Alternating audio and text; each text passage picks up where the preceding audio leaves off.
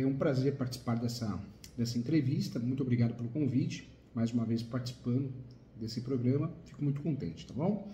É, não, tem, não tem como evitar. Né? É, ah, professor Júlio, eu acho isso, eu acho aquilo.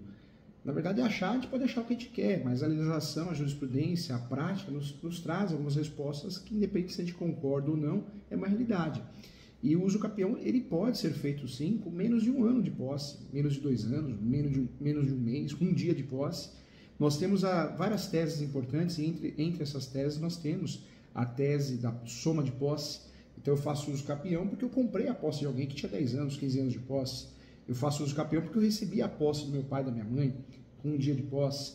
Eu faço uso capião com 5 anos de posse, sendo que eu estou usando o uso capião de 10 e para isso basta eu utilizar a posse complementar. Então dá para fazer uso capião sim.